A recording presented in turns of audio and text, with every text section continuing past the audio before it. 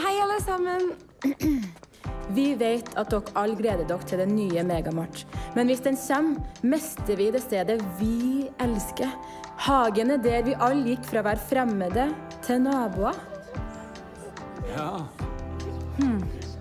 Den representerer ikke bare fortiden. Den representerer fremtiden også. Så for å beskytte den, må dere skrive under på protesten.